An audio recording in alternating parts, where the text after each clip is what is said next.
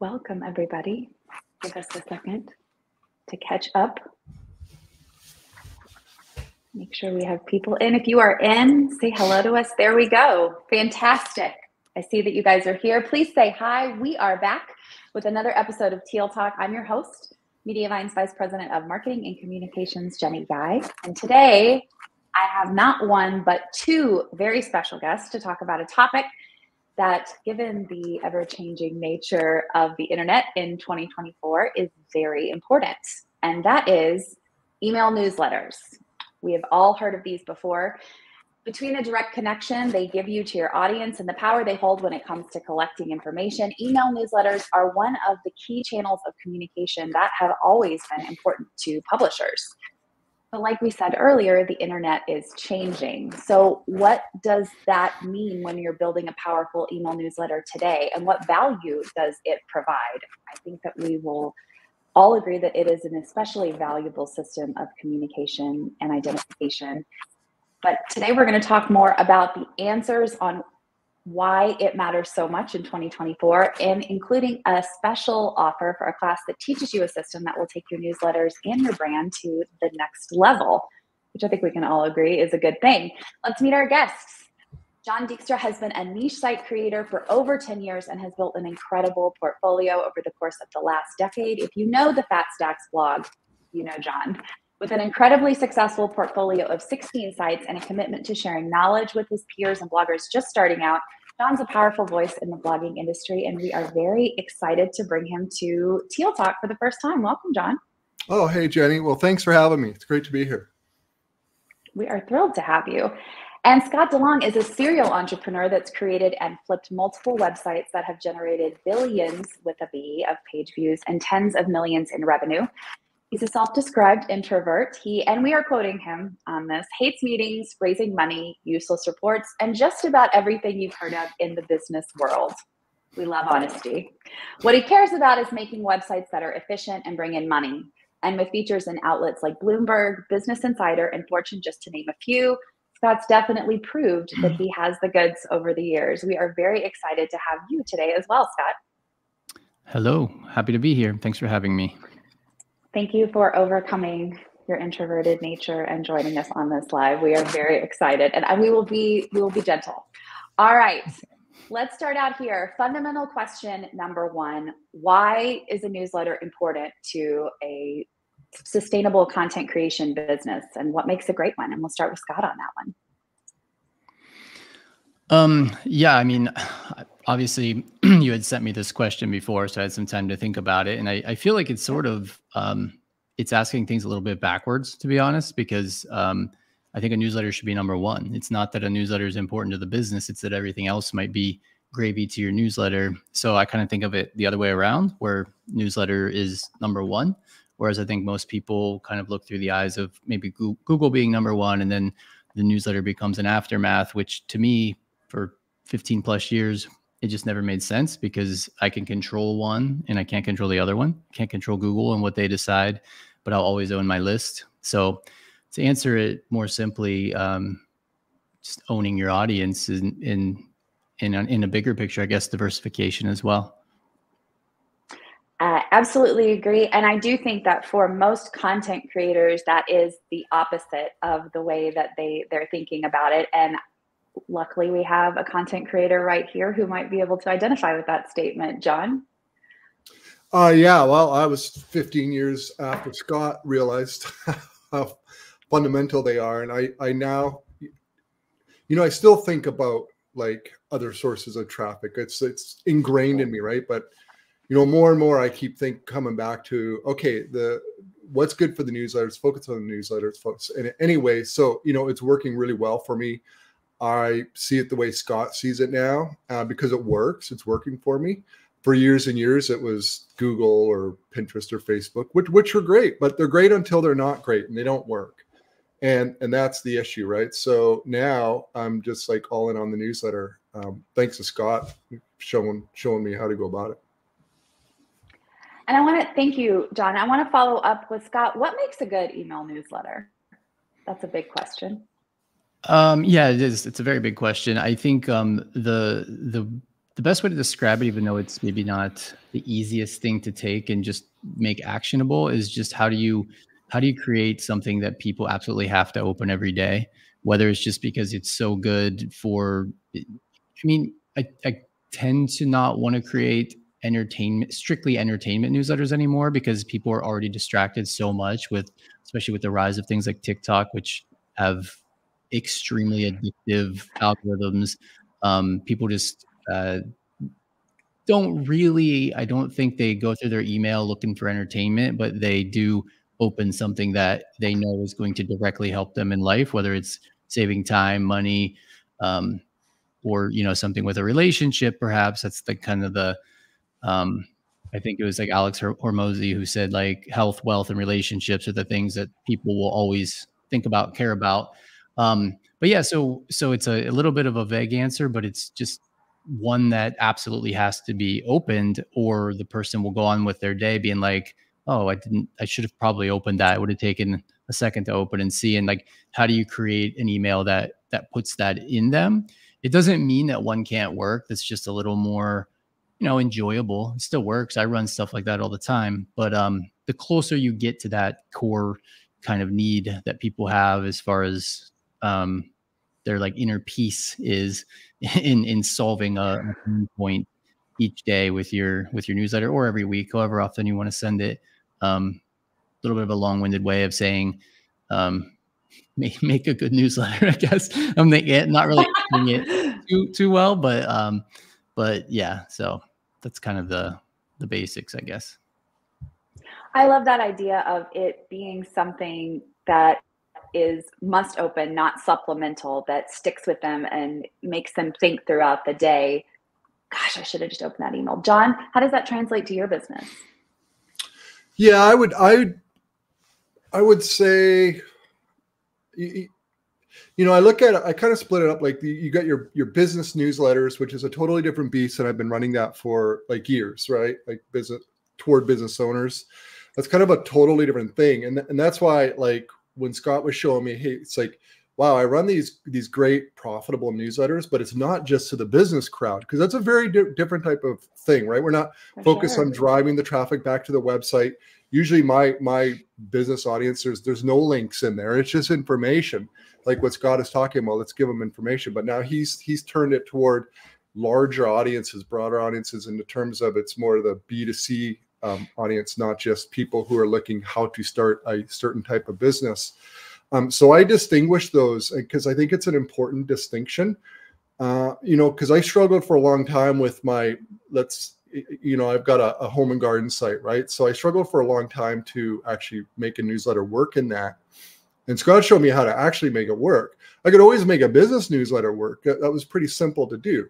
But it was how do how do we now take you know you know make it work with with different types of websites, which is a lot of people who are watching today have those types of websites, bit maybe food or uh, home, um, fashion, beauty, whatever, right? Automobiles, right? So, so the real question is, how do we make them work for those traditional niche sites that relied so long on Google traffic and maybe Facebook and Pinterest traffic. So, how did you do it? Tell us more. uh, okay, it, you know what? It was a lot of testing, right? I had to figure out. So it was, it was a two part step. So I did have a list. It's a cold list. It would I barely like ever emailed over the years, but somehow I had this list, and I was sending stuff, and I was just trying everything I could, like within within the realm of the niche I was in. I mean, I would I be in the same niche today if I were starting from scratch? I don't know. It's the website I had. It's the, it's what I had to work with. I wanted to make it work. I tested every type of content you can imagine. It's over and over and over, and I would look and see what got clicked and what didn't get clicked, and same with uh, subject lines that were getting open and those. That, so, anyways, I, I kind of figured it out, and I found a few topics that people really resonated with, like on, on a pretty pretty big scale. So then what I did is I completely changed how I was attracting subscribers and I, I align the message with what my newsletter is now about. I figured out, okay, my newsletter needs to be about this. The message to attract them to the newsletter was going to be tell them exactly that. Join the newsletter and you will get this type of information regularly. And so once I started doing that and all the pieces came together, my open rates, my click rates, like like really, really increased quickly. And so it, it really is trial and error. Love hearing the testing, and I think we'll get more into that in a bit. But want to zoom in now on the elephant in the room for a lot of content creators right now, which is all of the various algorithm updates from Google that had kicked off last fall with the helpful content update and have continued to today. Um, Scott, that didn't impact you, I'm guessing, because you've never very much relied on on Google traffic to have success with your websites. Yeah, um, since I don't really go to Twitter either, I, I honestly didn't even know what happened um, until I started getting emails from from people that subscribe to my my newsletter. Um, and I've written for years about how I don't build for Google. I just never have. I've gotten a lot of Google traffic over the years, but I don't I don't try to follow anything that says hey, if you you know bold 17 words and put a table of contents you know every everything. And, even to this day i go to i go to groups on facebook and people are still they're just chasing like what they think google wants. I'm, I'm seeing people should i launch a forum? Because reddit's doing i'm like no you're looking at this completely wrong. Like you're looking at the entire idea of building a website wrong. You're you're you have a you're chasing a tactic which is to optimize your site for search engines. You're not building a real business. And i think i've just I think I got a little lucky because it just bored me so much that I never did it. and plus Facebook was was fish in a barrel back in the day, so that was like very easy. And then obviously running newsletters and you know parlaying that traffic into into email as well. Um, but I'm sorry, I can't remember your actual question. I kind of went on a side note. No, I liked it. I want to I want to let me redirect. With what is the distinction for you between building for Google or a tactic and building a business? Talk to me about that. Well, it's it's making a decision because you think an algorithm's going to like it and not a person. And I think that people over the years because of the the SEO kind of circle echo chamber all convinced themselves that they were doing stuff for the user, but really they weren't. They were they were doing what somebody else in the echo chamber said said worked for them. And it, I, I mean, I don't, I don't have all the data by any means, but I think half that stuff was just coincidence. And then, then everybody started chasing what appeared to work. But again, I've never been in that world. It's just like an outside perspective. Um, but yeah, yeah, your original question was how did it affect me? It didn't affect me at all. I guess it, it got me more subscribers to my newsletter because people wanted to learn about newsletters. So, so that that was that was the only way that it really affected me. And um, even the site that I kind of built sort of halfway in public recently, like Google traffic didn't drop at all. It's actually going up since since the helpful content update, and I haven't spent a second thinking about um, any on-site optimization or, or off-site. I don't buy links or build links or anything. So that's that's yeah. Okay. Uh, Jon, to you, how did helpful content update impact you? Oh yeah, uh, severely. Uh, yeah, it was actually yeah. my site took the biggest nosedive after the September 2023 HCU. Uh, March there was no effect because well, you couldn't really go down any further. So, um, it, in a way, it was a good thing because that was I don't know seven months ago. So I've had seven months to adjust, and I realized pretty quickly there wasn't really going to be a way to recover from that HCU. I just didn't really see it happening. So that's when I started looking into other avenues. Uh, but you, you know, for years, Google, I always, I always kind of liked, I, I like Google traffic a lot in terms of I like the analysis side of it and looking for what people are searching for and publishing content for that. But I agree with Scott that like you, you're kind of like straddling two two two sides, right? You're you're you're writing for a a, a computer and you're writing for people, um, and sometimes the two would work together, but sometimes it wouldn't. It'd be like you'd be writing on topics that like you would never send in an email, for example, right? It's just basically because some people happen to be searching for it. Um, it worked great until it didn't work great.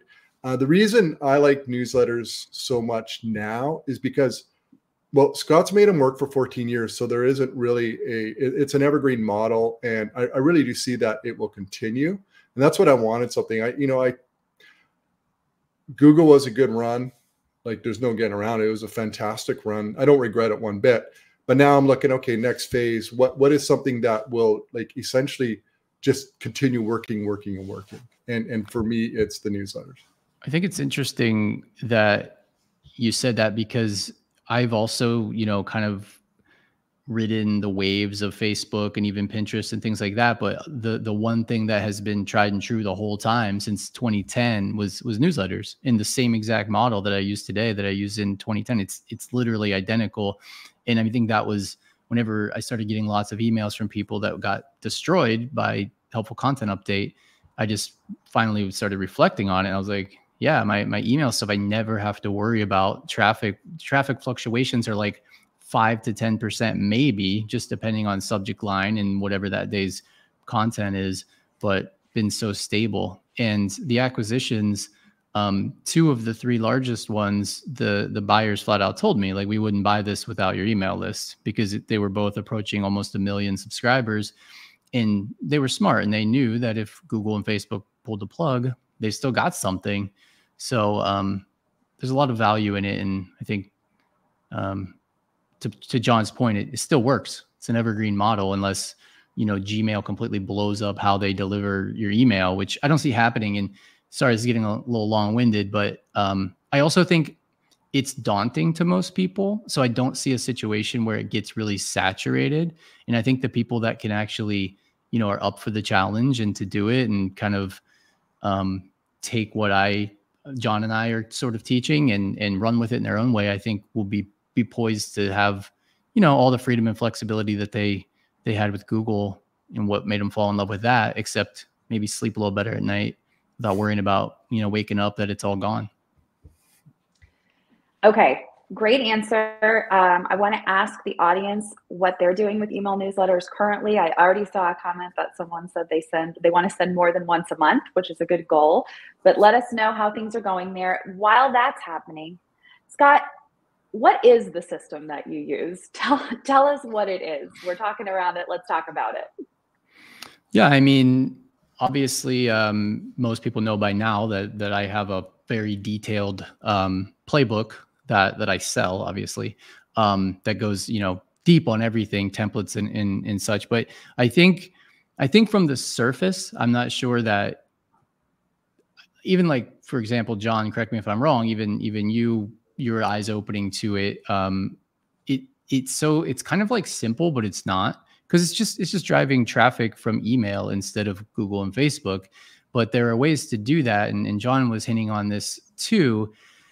Um, where you have to make sure that you're a you're getting the subscriber for the right reason so that they follow through so that it becomes a part of their their everyday or every week life to open it whereas one of the biggest problems in turnoffs people have had over the years with sticking with their newsletter is because they fundamentally started out wrong because they heard that they should put a pop-up on their entire site that collects emails and then they sent a digest once a week and they looked at the numbers and they were doing, you know, 100k a week from Google and 1k from email, and they're why why am I wasting? Why am I doing this? This is harder work, and um, and I'm getting a fraction. So, you know, some people pulled the plug completely. Other people just kept collecting emails and letting that form sit on their site. I don't know why. Jon, maybe you actually did that, but it worked out for you. And actually, you're proof that you can revive a list, which has been interesting for me to to witness you do that, which is which is awesome. Um, but yeah, I, I think uh, I just think uh, again, I keep forgetting your original question. This like you know this whole anxiety thing is, is no, you're fun. good. You're that, you you answered it. It was great. So I started out with saying what the system is, and you you defined oh, right. it, yeah. which is yeah. rather than relying on Google for traffic, you're relying on email. Yeah, I mean, honestly, I I don't look at e- I like I don't look at the way I do emails too much different than why people go to Facebook or Instagram and scroll and click on stuff. It's not that much different. You're just in control of the whole thing. Um, well, honestly, it's I guess you could sort of look at it that way. It's like a little micro, a little micro niche Facebook, kind of. So, I mean, that's that's the system. But but again, how you create the content, how you position it what you're measuring. It, there's a lot of details that obviously go into that, but that is the basic the basic system. And and also another important part is to incorporate things into the email that people who don't want to just open and click out, click out, click out. Um, some people are happy to do that, but a lot of people maybe they just like just sending a digest of your latest articles is a very basic way of of doing it. And i think that just doesn't work very well. And i think that's also a turn off to a lot of people because they didn't see any people just weren't clicking at the level that they need to make a dent in their traffic. But you can take that to another level and give them reasons to stay in the email. You know like morning brew and hustle and these well i guess hustle links out to a lot of stuff but like they're completely designed to keep you in the email and i would say my model is a bit of a hybrid. Okay. Jon would you add anything regarding the overall system? You know, I would I would say like Scott right there described me like five years ago, right? Like collecting emails for no particular reason, uh, and you know, tried every now and then, but the alignment wasn't there. Nobody cared uh, about you know basically I would just load in a bunch of articles, and you know I tried the RSS feed method, which is basically automating the whole process. Uh, now I put probably more time into the email creation than almost anything else I do. That's how important it is. I'm very particular about what gets included. And as the, the list grows and the revenue grows, I will spend more and more time. Eventually, it will probably be like the only thing I do. Um, that's how effective it is. So uh, the, the, the system really is like there's a lot of moving parts. Like it's not like SEO where you just crank out an article, hit publish, and like move on, right? Like at a pretty low barrier to entry to get going. With email, there's a few more moving parts, but if you get it figured out, it's like there, there's really no limit with it. Um, but you really got to figure out what your people want to read. And like, look at the numbers, look at what's getting clicked. Like for me, that was huge. What's getting clicked? And I would go through every day uh, and track that, and then find you know the the type of articles that were working, and then just do more of that. Okay, we're getting some questions in here from our audience, so I'm going to put those up on the screen. First, Kelly asked, How do you gain email subscribers if your list isn't very big? Scott.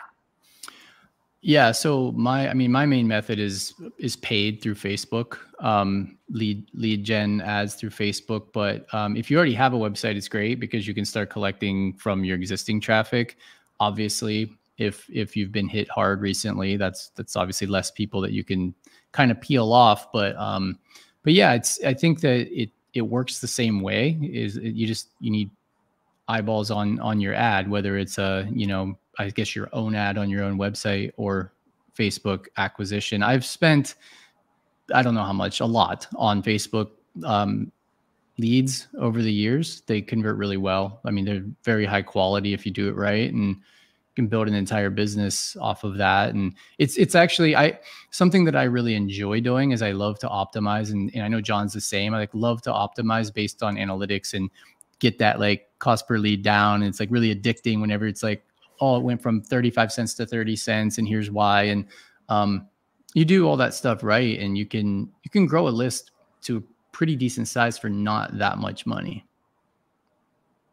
jon anything to add there I do get free traffic still quite a bit from Facebook and Pinterest. And so I, I do put in opt-in forms on my site and I test those. Um, the quick answer is the exit pop and the mobile pop-ups tend to work by far the best, like uh, better than the embedded in the in the content itself or or elsewhere. So if you're gonna if you do have traffic, those those exit pops, as annoying as they are, they really work. Uh, but yeah, then, like uh, Scott showed me how to how to buy and pay for leads, and that's I would say four fifths of my new subscribers is now paid, and like you could scale like crazy. Once once you get it all dialed in, you just you just paying for it and spend as much as you can and grow it. Yeah. And I would encourage anybody who's getting traffic and and trying to get people to sign up. I, I think the thing that drives me crazy is how many um, site owners just put the whatever pop-up form on their site that everybody else is using and they don't really optimize it or anything and there's a super quick story i like to share just because it was such a game changer not only for a website i used to have but honestly for my life because it it changed the trajectory of my revenue which ultimately led to a sale which changed my life and um, it was a video site and I, I, uh, everybody would just, you know, have at that, at that time, desktop traffic was still over 50%. It was like 2012 or 2011. And, um, everybody just had it in the right, the, the sidebar, and I did too. And is you know I would optimize it a little bit, change the photo, change the colors, be like, okay, this is cool. I was getting I was getting a ton of Facebook traffic, and uh, I was getting maybe like 300 email subscribers a day, which which was good. Um, and then one day I just was like, well, everybody's watching videos on my site. What if the sign up form was directly inside of the video player um, after the video ends? Not before, but after it ends, because I've just enjoyed this video. Oh, I would like more of this. This was great. And I figured it out. It took me forever. It was there wasn't a plugin. I, I wasn't even on WordPress actually. Um, and I and I started getting 3,500 a day, 3,500 signups a day. Wow! It, it was a total. It was life changing, honestly. And um, and so I I try in my writing in my newsletter to stress like don't just look at a number and settle for it. Like try to get something better and think outside the box and don't do what everybody else is doing because a if it's working and everybody else is doing it, you're too late anyway. And usually everybody's just following something that really doesn't work that well or maybe one person's doing it a little bit better and it's working for them but not anybody else. So really looking at your looking at your site and your content through through fresh eyes not through the eyes of i have a website like all these people what are they doing? um, can can change your like your like entire um your entire change your life honestly and and at the very least improve your business Absolutely. Okay. I've got a few more questions here. Mary Beth says, I've been collecting email addresses via form on my site for 15 plus years and I haven't sent any emails in at least five years. Help. Does that list have any value? My list isn't super niche. It's lifestyle with content targeted to moms. So I guess I don't know where to start. Um, Scott, hop in. Yeah, I, I think if I read this before meeting Jon, I would have probably thought maybe maybe it's hopeless, but I think Jon's experience show, showed me otherwise. Um, you have, sorry, I'm just reading it again. I don't know. Maybe Jon, you want to you want to chime in on that one a little bit? Yeah, yeah. Uh, uh work with it. Do do what you can. Figure it out. Um, here here's sort of once you test um, it's it's a, a mom oriented website or lifestyle site. So you probably cover a lot of different topics. So send out one email every day. And, and even if you have to say, hey, it's been a while since I've emailed, I'm you know firing up the email newsletter again, just give them a heads up and try all different topics. And you can even mix them up in the same email or like one day do one type of topics, the next day the next, and then see what gets clicked the most. And eventually you'll find something that'll probably get a lot of clicks that'll be a topic you want to start focusing on uh, daily. And and you know we're talking about this as a system. It really does take daily emails because that's how you're going to get the volume to your website. And I do that. And I know it sounds crazy to some people, but people don't mind. They they will open every day and they'll be happy about it and they'll click. And so once you figure out what they like, then just publish an absolute ton of that content and do more of it. And then look for another topic that that will resonate with people. But then be sure to change the messaging on the way you attract subscribers to your website. If you have pop-up forms or whatever you're using say you know join a newsletter to get information or to learn about x those topics that you have found that people like. And then your new subscribers are going to you know basically be clicking because that's what they signed up for. And lastly, after you send emails for maybe 30 to 60 days every single day, scrub that list. And that means you'll get rid of all the people who haven't opened any of those emails. Clearly, they're not interested, and that'll that'll help improve your open numbers and and your the health of your list. Anything to add to that, Scott?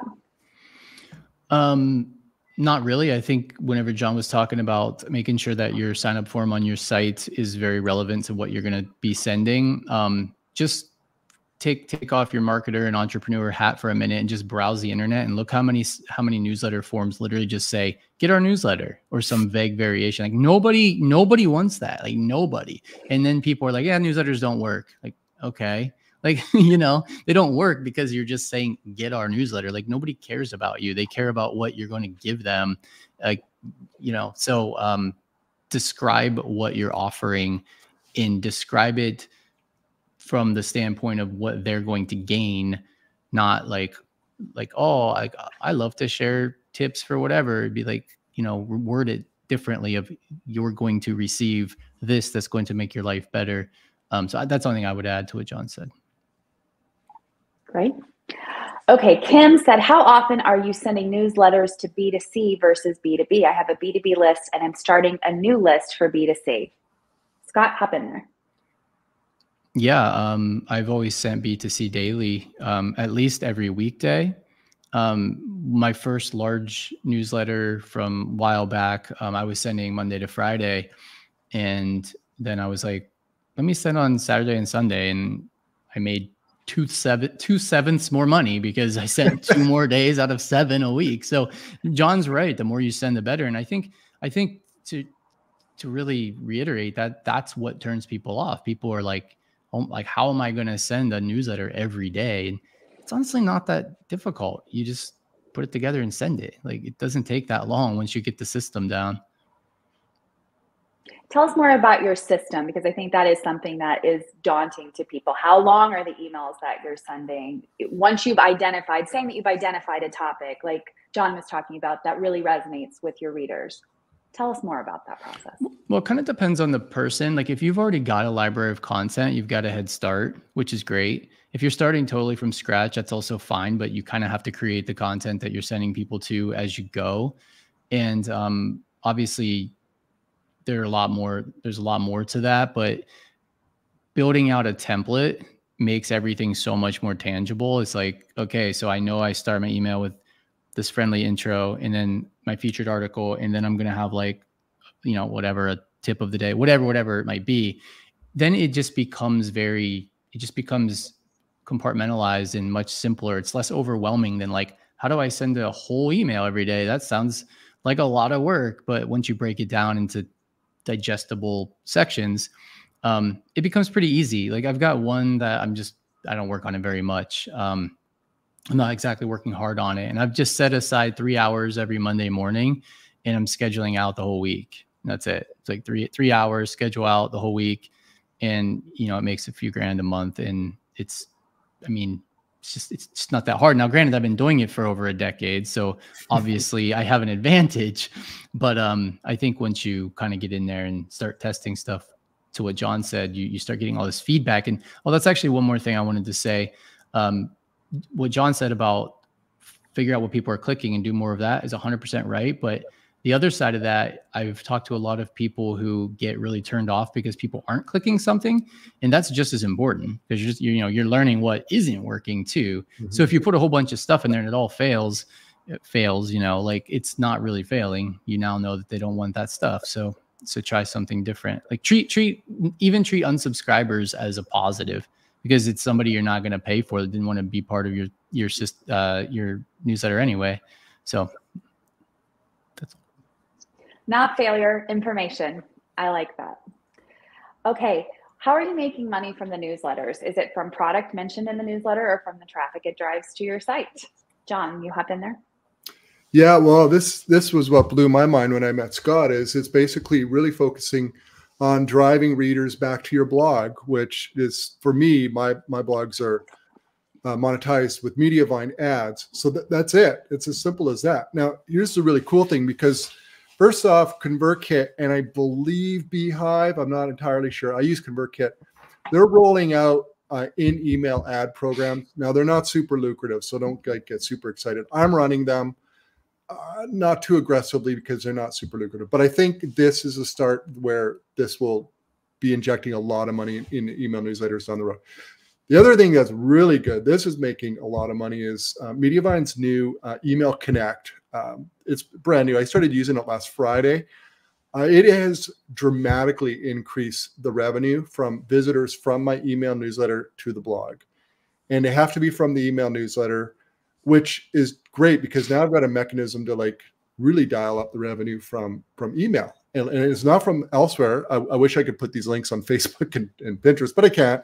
Uh, that'd be great. But anyways, it's from email. So really, it's it's display ad revenue, 100% you know and and but that's that's a, a big distinction between like b2b and b2c b2b i would i would never send to a, a, blog for ad monetization i would i would promote things more as an affiliate or, or sell info products but for b2c that mass volume traffic back to your blog earning from the ads on your site. That that's that's what I love about it. It's a traffic source that you're not that isn't subject to all the algorithms. And that is exactly what we're looking at here. And then you have a monetization partner like Mediavine, and that's you're getting paid for those. And then we had a great question from Christina. She said, Can you go over this new feature, please? Uh, Jon, it's a grow feature that we just put out. Would you talk a little more about how you're using it? Yeah, totally. Um, they send an email, like basically it depends. It's a custom link you get, and you got to grab the the grow link. So you need grow activated, which I use and then you grab that link and you, and you create a custom URL depending on your email service provider. And and the, and the main ones were covered. It's in the documentation. So every I, I I put a lot of links in my newsletters to to get a lot of clicks. And so yes, it adds time to my creation of these newsletters, but I will create that custom link for every single link. And it has made a huge, huge difference. I really encourage you to dig up that email from Mediavine because they sent it out this week and go to the email connect documentation page and try it because like i started it last friday and i noticed a difference that day. And i only did like one third of my links with those links. I just wanted to see it. Now i do every link. Thank you jon. So we are talking about one feature that has come out with grow is copy link and with copy link uh, we know that advertisers pay more when they know who they're talking to and copy link is a grow feature where you, when you're composing your email, you're getting a custom grow link instead of the link that drives directly to your email. And if a reader has a grow account, when they click on that copy link, they're going to be uh, logged back in, which means they're authenticated traffic. And then as they travel around to all the other grow sites, every publisher is benefiting from those higher earnings from that reader. What Email Connect adds on to that is that if you're using MailerLite, MailChimp, Flodesk, and ConvertKit, you're adding a suffix onto that copy link, which bounces them through your email service provider and identifies them whether they have a Grow account or not. So when they're clicking those outbound links in your emails, they're going to be identified and we're going to get those higher CPMs from those readers. So we are going to send those, uh, check out those emails. Everyone should have them. We'll be providing more information about this. This is a hot off the presses feature. So what we're saying is if you don't have a grow, if you're not using grow yet, use grow and check out some of these new features. They're definitely going to enrich your earnings on those new, on those, everyone who's clicking out from your email. And Jon, while we're on the subject of grow, can you talk more about how you use grow on your sites and how they work together with your email, with this new business model? Yeah. Um, well, I mean, yeah, you folks have told me, and uh, Eric as well, that um, you know the the best subscriber are those who actually join grow like sign up to grow uh, visitors to the website so uh, i created and and this is tips from mediavine really was i kind of you know uh, you know in my welcome email i say hey join join the grow i kind of spin it more like it's a, a feature of my website because my logo's on there on the sign up page for grow and I say, well, this is a premium version of my site. You can bookmark uh, blog posts and so forth. So I try to sell it, right? And I send them to a dedicated sign up page with my logo on there. And if they sign up, then now those readers are in Grow and they're going to, every time they revisit my site, which is for some of them daily, was going to generate a higher ad RPM. So I really try to sell the Grow. And for those who don't get into Grow, because let's face it, not 100% of people will do it. I use the email, email, I think email connect is called the the special mm-hmm. URLs we are just talking about. So that's my backup. But anyways, the two together have created some pretty crazy ad RPMs for me from my email traffic, much higher than Pinterest and Facebook. Love hearing that. And yes, you're absolutely right, Jon. We know that not everybody is going to go through the trouble of creating a Grow account. Um, and that's why we're creating features like Email Connect that makes it easier to identify those readers. Uh, we have a question here um, Robin Perryman says, Do newsletters work well for people under 30? If not, will newsletters ever really reach that generation? We had someone else asking about this as well. Scott, what are your thoughts?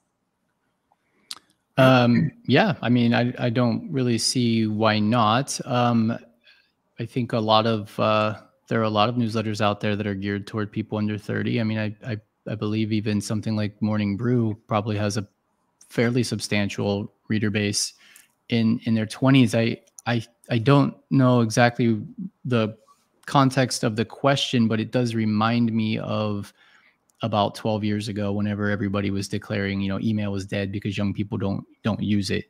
And um, that's when I, I was sitting on a pretty large list, sending emails daily, and like was everybody talking about email is dead you know and that's another thing that goes back to like ignoring what everybody's saying is is the is the trend. But but i guess to i mean i don't have like super hands-on data and i don't generally create newsletters for people under 30 so i don't think i'm fully qualified to definitively say yes.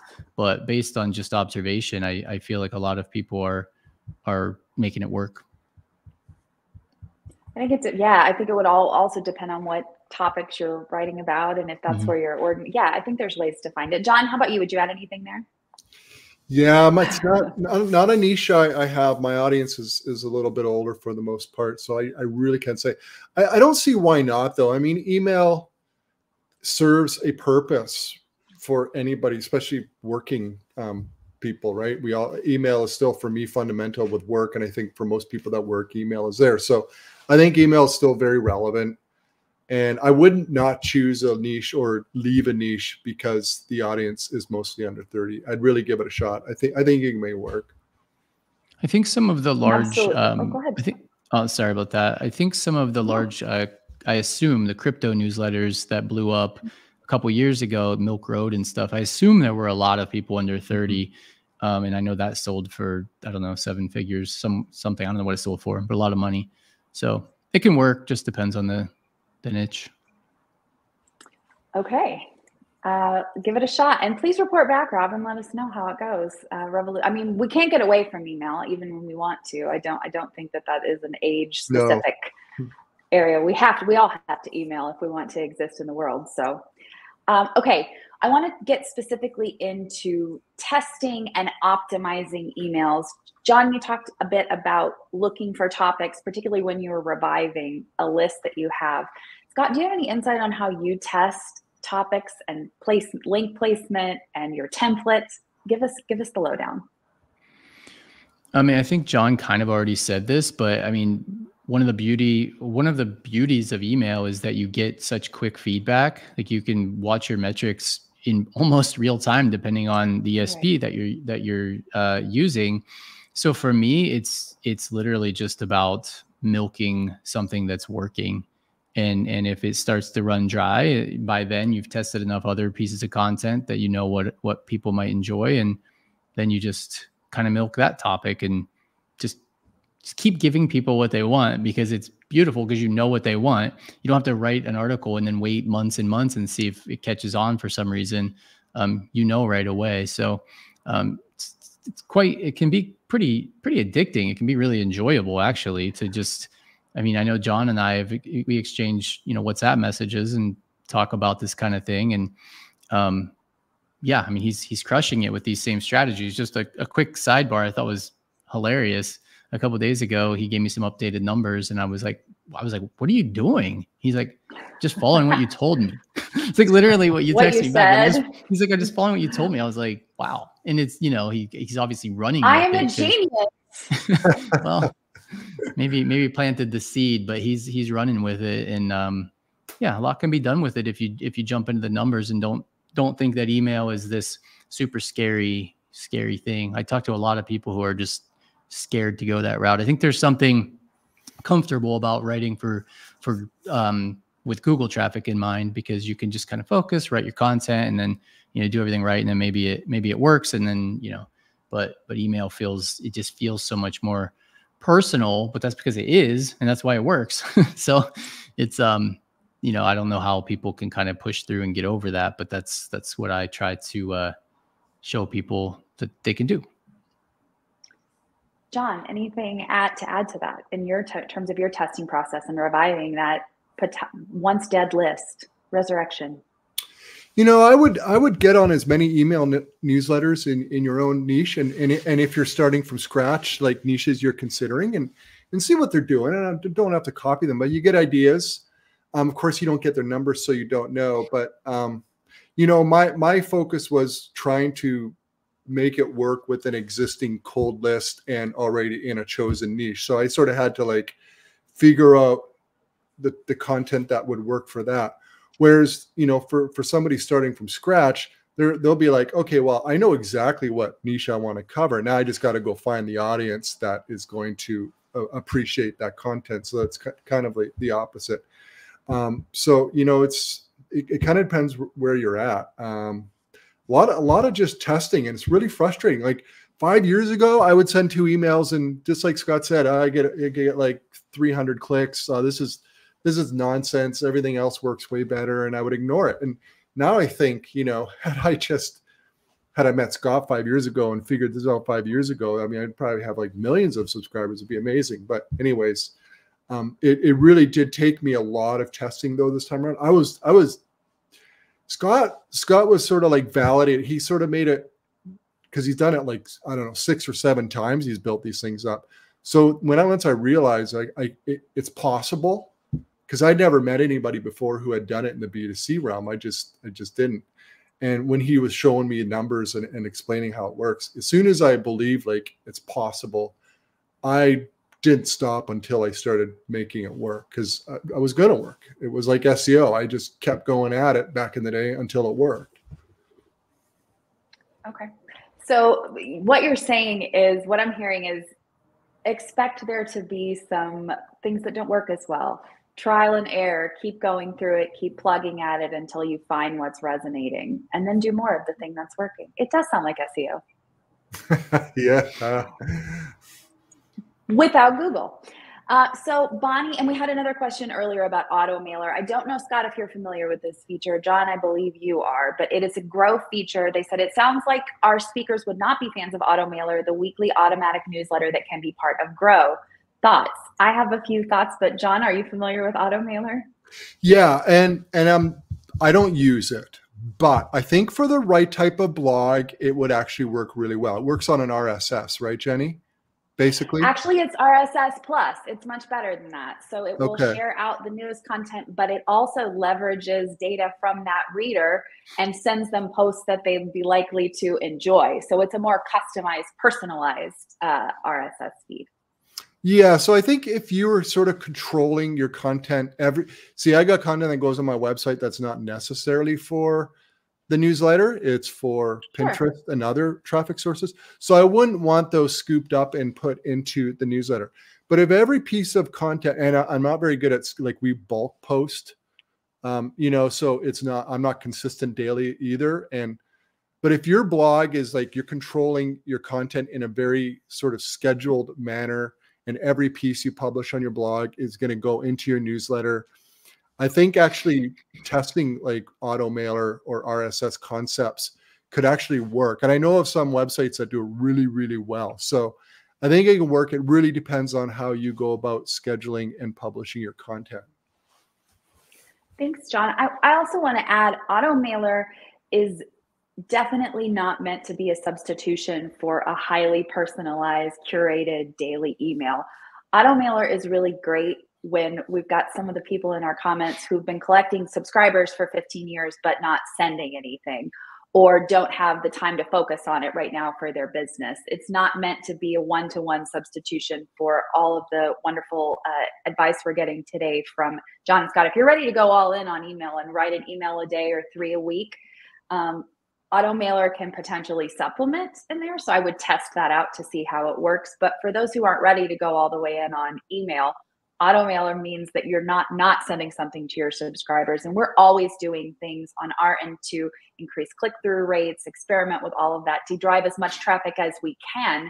But this is a very different methodology. Mm-hmm. Um, okay, we have another question here. Brian says, What do Jon and Scott think about reusing evergreen content in newsletters? I mm-hmm. reuse links back to articles on my site after six months. Jon. Yeah, you know, I haven't been running it long enough to actually do this, but I think about it. And I think, you know, obviously you're going to have a lot of new subscribers. And so that'll be fresh to them. You maybe a lot of your other readers have left or they forgot. Hopefully, they just forgot about the article and it's new to them. I don't know. You know, I haven't really tried it, but I suspect at some point it may come to that for me too. Um, you know, um, I, I think give it a go. And if if people email you and say, "Hey, you sent me this already. Why are you sending it to me again?" That's a pretty good sign. Maybe maybe not the best thing to do. If several people do that, not just one. Yeah, true. Scott, yeah. how about you?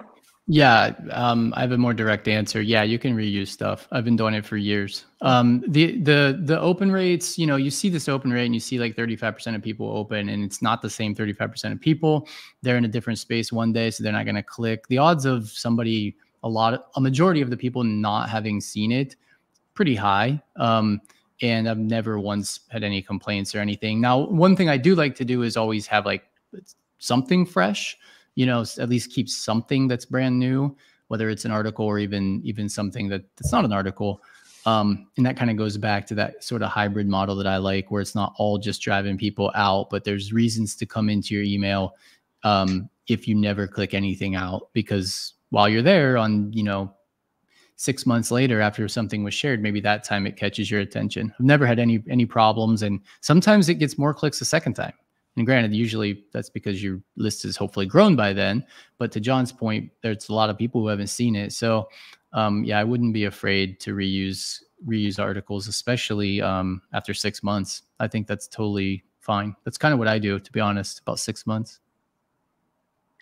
I would also say, just piggybacking off of all the great advice you guys just gave, readers don't use your site the way you do they are not looking at or, or, your email. They're not thinking oh old news. They sent this five months ago. Mm-hmm. they're not going to remember your email from five months ago particularly if you're sending five emails a week six emails a week three emails a week. I don't remember what i had for breakfast this morning so i am definitely not going to be going into my email going god this is such an old link. Um, so it's great if it's great content especially if it performed well chances are it'll perform well again. But like jon said always test uh, so with oh Scott, go. I was just going to agree with you because um, I sometimes think about like the worst case scenario is I accidentally send two emails at once, for example, and I just have in my head all these people just being like, "What is going on?" and just max mass exit exodusing. And then whenever it happens to me as a subscriber to somebody's, I'm like, oh, that's weird, delete. And I just move on. Like, I don't care. like I don't care at all. It doesn't even bother me a second, yeah. like for a second. So you're 100% right. We care a lot more than than mm-hmm. they do as far as th- those little things go. Well, yeah, we don't use our sites. That we look at things very differently than a reader does. We're a blip in their radar. We want to become more than mm-hmm. a blip. That's the goal. But yeah, absolutely. Okay, so the reason I want to get to, you guys have provided so much great information, and we've had great questions from the audience as well. But I want to talk about the fantastic system that you guys have collaborated on, which Scott uh, Scott already alluded to, which is the Million Dollar Newsletter Playbook. Um, we've talked about well, let's let's get into why you created this in the first place, Scott.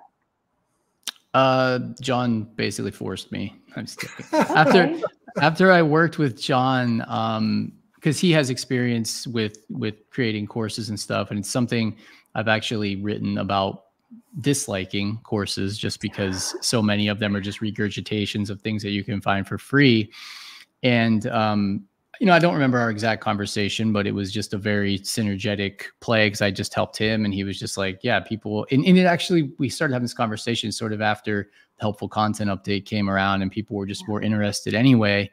And um, I, I've written tons and tons of stuff for free. I just kind of enjoy writing on my site and my newsletter. But this was a huge undertaking to take 15 years of experiences and put it into, you know, a, a pretty lengthy course slash playbook, whatever you want to call it, that I'm very proud of, and that's why I kind of went down the route of of feeling okay about selling something, just because it is. It's I mean, if I would have had it a long time ago, or to Jon's point, if he would have had it five years ago, um, who knows where he'd be sitting right now? And um, I'm I'm kind of hoping down the road somebody emails me and tells me that they've built like a whole empire just based off of that because I feel like you can. It's all there. I'm too lazy now to do it, to be honest. Like I've, I've been doing this for a long time. So, um, yeah, but uh, hopefully that answers kind of the the basic question.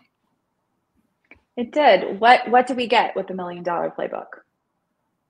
Yeah, it's it's it's honestly it's it's, it's like everything I've done. It's all the it's it's the templates that I use. It's the how to create, you know, like a Facebook ad that works really well, how to take your existing traffic and parlay it into subscribers, how to basically continue to create content that works. Um, it's it's sort of a deep dive in how to keep that person from inception all the way through to becoming a loyal subscriber and, and doing it in a way where you can retain your lifestyle because we, we all do this because we want a flexible lifestyle. Like nobody you might as well get a, go get a job if you're going to do something that you hate and is daunting. And i think that this this playbook eliminates all of that sort of fear and anxiety and, and dread because it, uh, and again to jon's point about once he saw that it was possible through our conversations look he's just like running with it and like blowing away what i would even even have expected myself. So um yeah it's just like it's all there. Real examples by the way everything like real newsletters i've built actual screenshots everything um, over the years uh, one in travel one's in religion um, you know so it's like it's a uh, pretty diverse look because i know people have many different niches and people are interested in in different ones. There's what i think is a pretty amazing breakdown of uh, ideas that i think will work really well.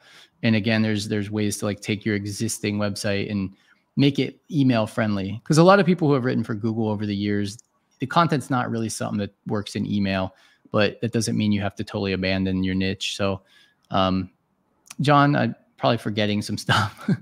Uh, you know you have a really great list of niche topics you talk about with really in-depth examples and how you'd go about it. And i found that like one of my favorite parts of the whole thing.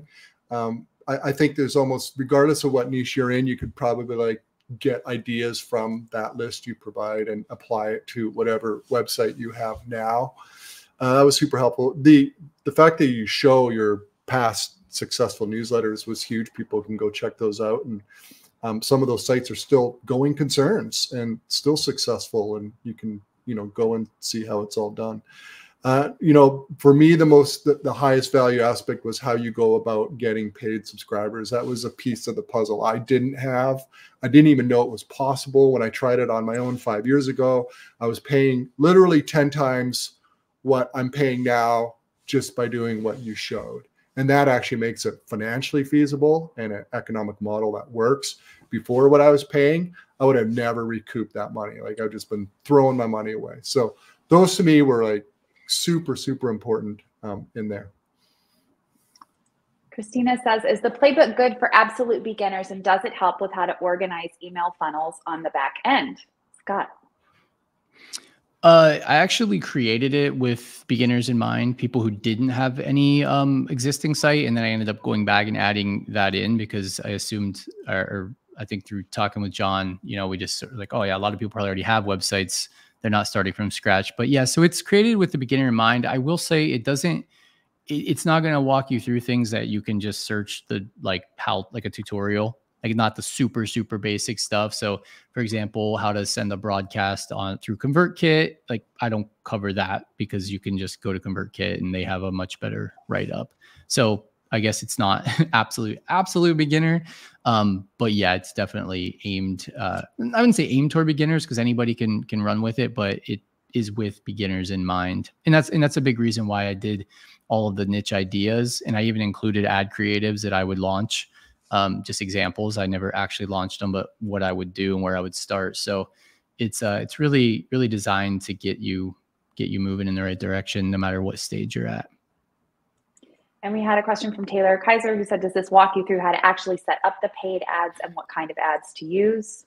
It actually it actually does um, mm-hmm. that. Yeah. Yeah. Because that was just in Jon basically told me, yeah, you need, yeah, we didn't say you need to do that, but he encouraged me to do it because that part was so important. So there's a full like 20 minute video every step of the way as far as setting up the paid ads and yes, what kind of ads. Yeah, that's, yeah, that's all there.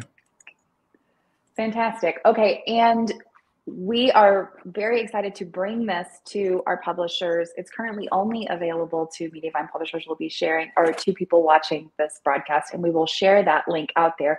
And as a special treat, we have a bonus lesson that, Jon, can you tell us a little bit about it? Yeah, yeah. Well, what I did is I put together some some of my best tips um, with a with a video screen share of um, basically my best on-site pop-up forms for attracting subscribers and give you an idea of how I completely align my messaging with what's in the email newsletter. That to me has probably been one of the the best advancements I've made in the last few months doing this.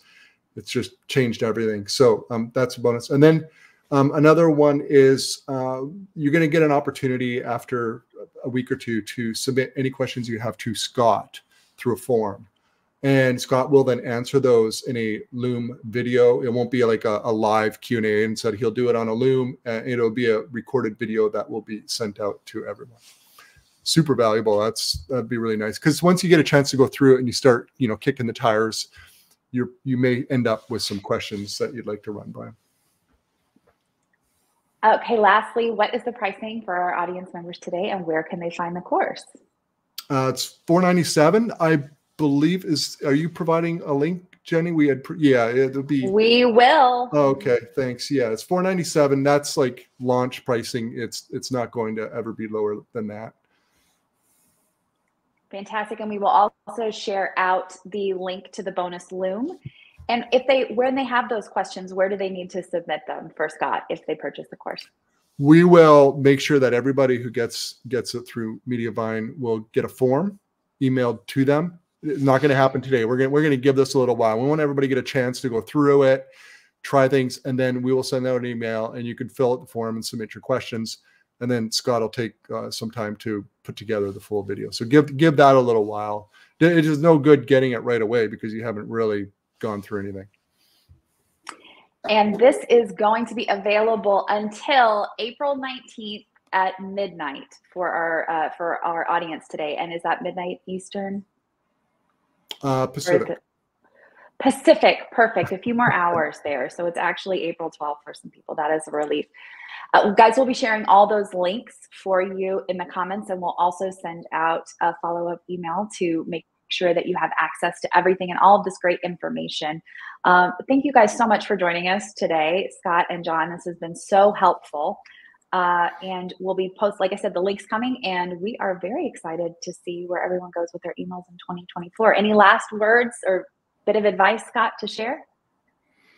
Um, I would just say, you know, as far as the this course goes, I mean, I put everything I could think of into it. I think it's great, but whether whether that's something you buy or not. Um, pay attention to email. At the very least, go go mess around. Even if you've got a few hundred subscribers or whatever, like just get in there and mess around. And then, you know, our our offering is here. Well, it's here till until the 12th, I guess. So I shouldn't say it's here when you're ready, but um, but yeah, I just think it's it's great. I mean, again, I've I've been doing this for a long time, and email is that like safe feeling as safe as it gets on on the internet put it that way as far as traffic source and revenue and it's it's it's good feeling awesome jon anything from you yeah you know i i know it sounds like a lot testing testing we talk about and building this up but i don't know if, if you got a lot of traffic from seo over the years like uh, that wasn't overnight either i tend to forget that right because we've sort of built things up but it really took me a long time and i know most people that i know have done well with seo in the past it took a while. So this is not going to happen overnight. But if you really, really like work at it, like my results have exceeded my expectations already. I'm quite pleased about that. And so I just see like there's really no limit with it. Okay. Well, thank you guys so much for sharing all your information. We are always looking for new ways to drive traffic and love that it plays uh, dovetails so nicely with Grow. Everybody have a wonderful rest of your April, and uh, we'll see you soon. Right. Thanks, Thank Jenny. You.